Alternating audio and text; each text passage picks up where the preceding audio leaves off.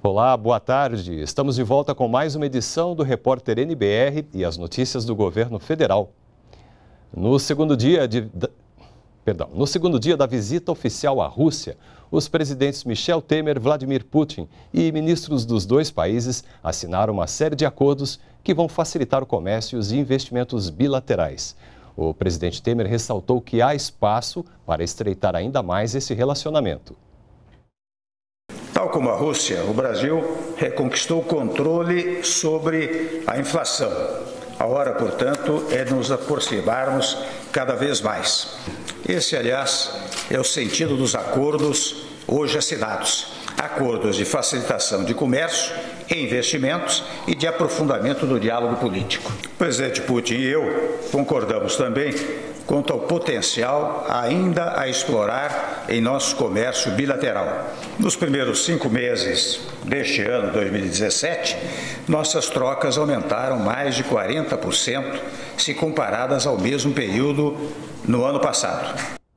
O presidente Michel Temer também abordou temas internacionais de interesse do Brasil e da Rússia, como a aproximação entre o Mercosul e a União Euroasiática. Assegurei ao presidente Putin que no próximo semestre, quando o Brasil terá a presidência do Mercosul, trabalharemos por uma maior aproximação com a União Econômica Eurasiática. Compartilhamos o entendimento de que as instituições internacionais devem ser mais representativas e eficazes. Intercambiamos visões sobre alguns dos temas mais prementes da agenda de paz e segurança internacionais. E antes da assinatura de acordos entre Brasil e Rússia, os presidentes Michel Temer e Vladimir Putin se reuniram por mais de duas horas. Durante o encontro, Michel Temer afirmou que a economia brasileira está em recuperação. Ele lembrou que há semelhanças entre as duas economias e citou a queda na inflação tanto na Rússia quanto no Brasil. O presidente brasileiro ressaltou ainda o diálogo dos dois países nas Nações Unidas, no G20 e no BRICS, grupo que inclui ainda China, África do Sul e Índia.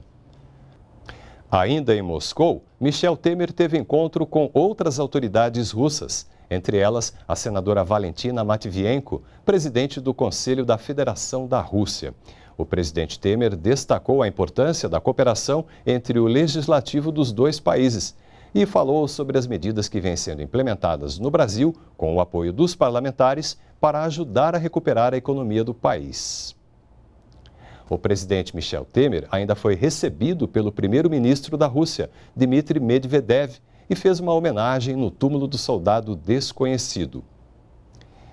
E da Rússia, o presidente Michel Temer segue para a Noruega. Ele chega a Oslo nesta quinta-feira. Na agenda estão previstas reuniões com autoridades e empresários.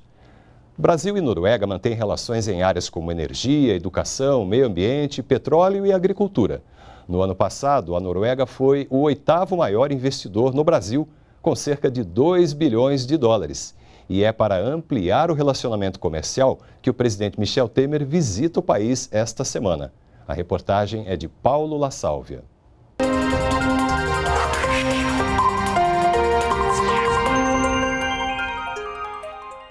O presidente Michel Temer desembarca nesta semana em Oslo, capital da Noruega, para uma agenda política e econômica. É uma demonstração clara para a Noruega que o governo brasileiro quer estreitar, quer melhorar a relação bilateral.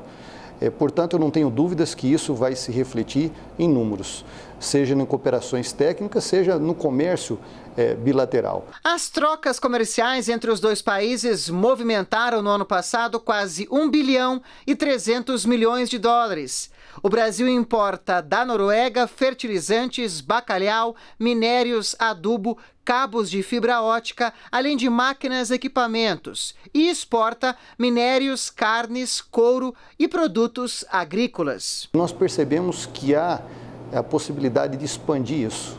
Eles compram muitas frutas, nós temos potencial para isso. Eles compram é, carnes, nós temos potencial para estar presente no mercado. É, enfim, é, sucos, nós temos a, a, possibilidade de ampliar a nossa participação.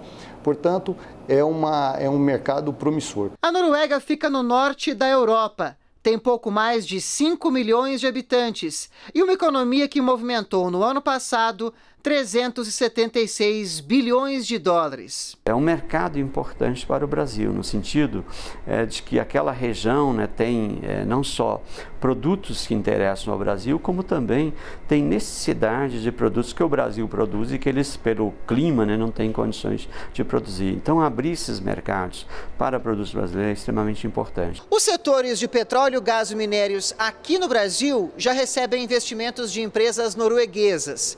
Desde 2008, a Noruega mantém ainda uma cooperação a partir do Fundo Amazônia, que financia projetos de desenvolvimento sustentável na região. Governo Temer tenta reaproximar o discurso do Itamaraty de uma lógica tradicional de apoio brasileiro a ações multilaterais e às decisões dos organismos multilaterais. Em algum sentido, esse tipo de esforço vai trazendo por si a necessidade de construção discursiva de um novo tipo de olhar. Um olhar que se ampara no reforço uh, da vontade do Brasil de ser um ente uh, cooperativo nas relações internacionais. Nós ficamos por aqui e voltaremos em uma hora na próxima edição do Repórter NBR. Você pode rever as reportagens no YouTube. Toda a programação também está em nossa página na internet. Uma ótima tarde para você e continue com a gente aqui na NBR, a TV do Governo Federal.